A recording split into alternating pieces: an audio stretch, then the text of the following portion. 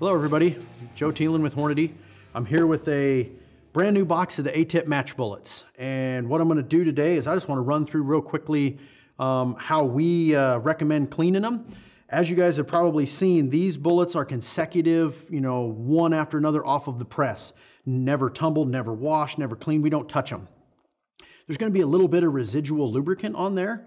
Um, so I recommend, you know, cleaning that off a little bit. I'm going to show you exactly how to do that. It's very simple. It's easy and makes the bullets look, you know, really nice. You're going to want to get that lube off of there because if you're out shooting in a, a dusty environment, it would stick to that residual film on there. So these are 65153s. This is how they're going to come packaged to you.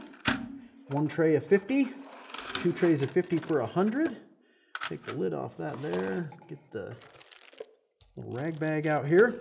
So what I recommend, the sixes, 110s, the 6.5 135s, and the 6.5 153s, I would recommend tumbling 50 at a time. You could even do 100 at a time if you wanted to. This bag is big enough to do that. In your hand, you can hold them and get enough agitation.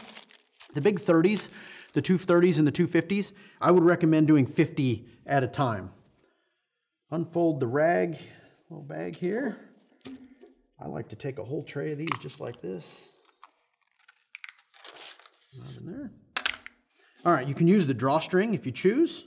Suck that up, or I usually just grab them like that, give it a twist so I make sure that they don't come out. Give yourself plenty of airspace in the bag here so the bullets can, can move around and become in contact with the cloth. And then I simply just set it in my hand, I roll it, and what I'm trying to do is I try to shuffle the bullets or roll them around top to bottom so they all come in contact with the cloth. And obviously they're rubbing on one another. You get a little bullet on bullet agitation and you want to clean them against the cloth.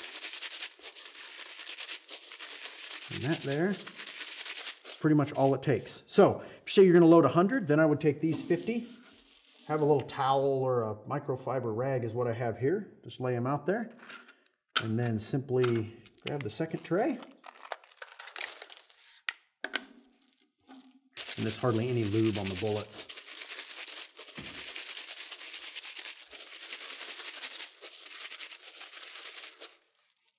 Another way you could do it if you're just load in 50, roll that thing down, reach in there, and they just look pristine. Takes that film off, gives them a little shine. They look really good. So that's that's what we do. That's what I recommend. It's very simple. You saw that took what a couple of minutes, a minute. So, and they do look really good when you're done.